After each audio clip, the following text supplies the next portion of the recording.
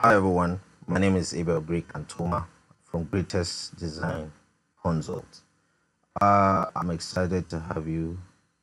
Um, today I'm going to be showing you how to model a stepped foundation in Protastructure 2024. This is another very great feature that has been added into Protastructure that makes your design much more realistic.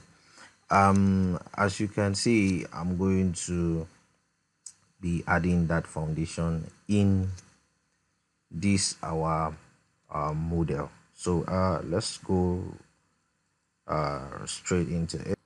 All right so if you come to your story zero you will not be able to see these columns at story zero because these columns are not actually extending down to the story uh, to the zero to the ground floor level okay to the story one.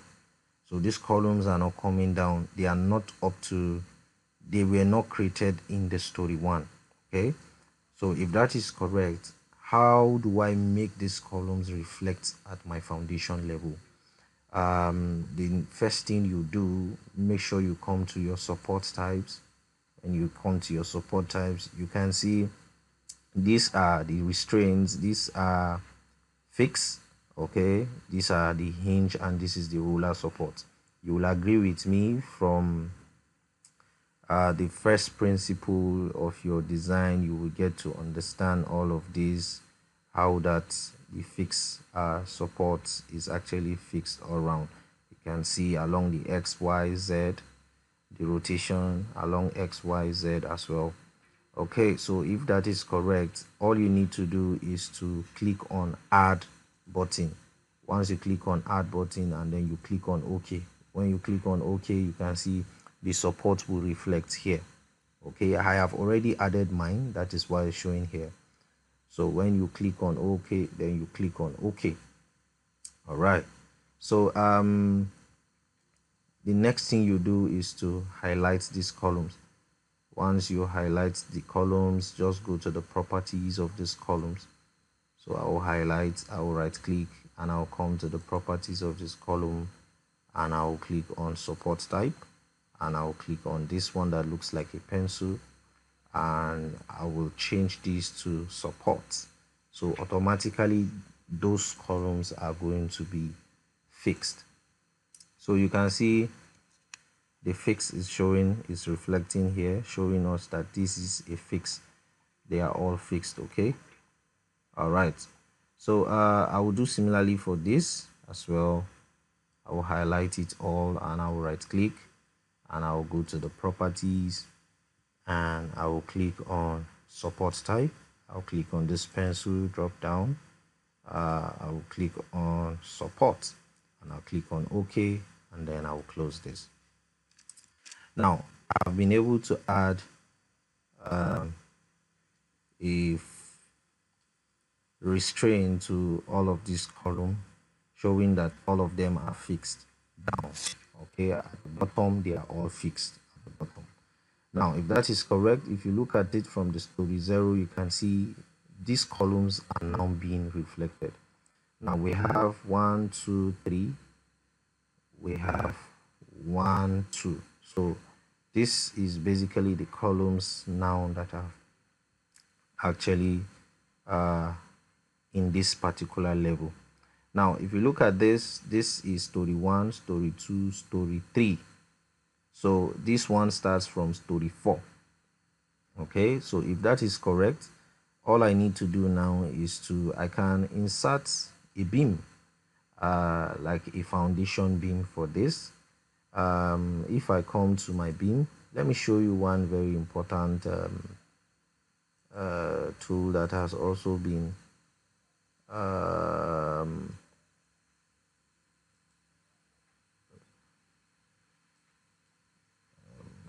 hold on. So as you can see there is this beam called the tie beam has been included as well. So but basically what i'm going to do now is just to insert my foundation beam. If I click on that I can just insert my foundation beam. So let's say uh, here and here we are going to be having a strip uh, footing so if we are having a strip footing here and then for this we will be having a pad footing okay? So for this one we'll be using pad this one will be using the strip. Now if you look at this very well you realize that this beam has been created but it is actually at the level that these other columns are. So um, the reason is because we did not change the elevation so I can simply highlight this right click go to the properties and then I will come to my DZ I will change this to so remember like I said this is at uh, story 3 so each floor is 3 meters. So that will be 9 meters above the ground so um good. Now you can see my beams now are at the position. So this is basically how to insert that. Um we can do insert our strip footing now. Very easy to do that. Just highlight uh, select the beams and come to insert strip footing and it will be inserted so uh, my analysis result is not up to date so it will not analyze that.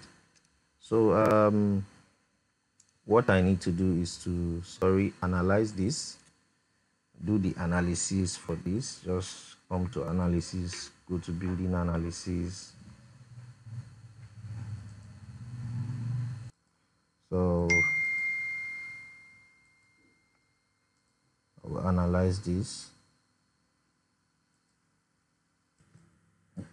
right so um, the analysis is done now.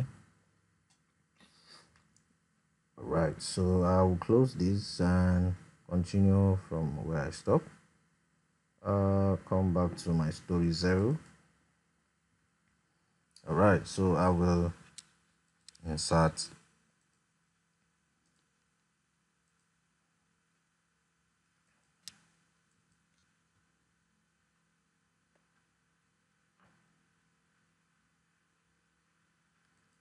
design this uh, it's important.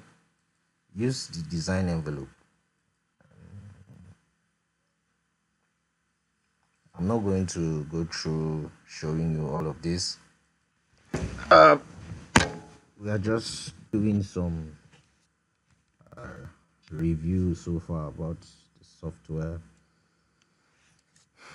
to see its capability. As you can see this is a very great feature. Um, this is good for a case where you have um, a varying elevation and and it's also very good for like your where you are going to be having like a basement and all that. Um, it's very good um, this is a very great feature even for just this feature i think the update is worth it. Uh, it's really worth it. Um, okay. So that is done let, let me try to insert the pad footing let's see what we have. So i will select all of them and right click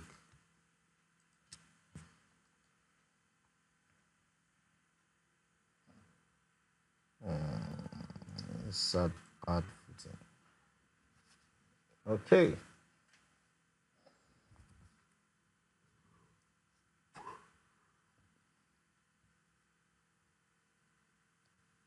Well if you ask me i must say this is a very great uh, so far uh, it has made it way more flexible than it were before. So um okay good. All right. So if you love what you're seeing just like this video give it a thumbs up subscribe to this channel. It's actually 100% free. Click on the bell icon so as for you to get a notification whenever i post videos post videos like these on a weekly sometimes on a daily just to encourage as many that actually want to have a deeper insight of design. Make sure you stay safe and stay blessed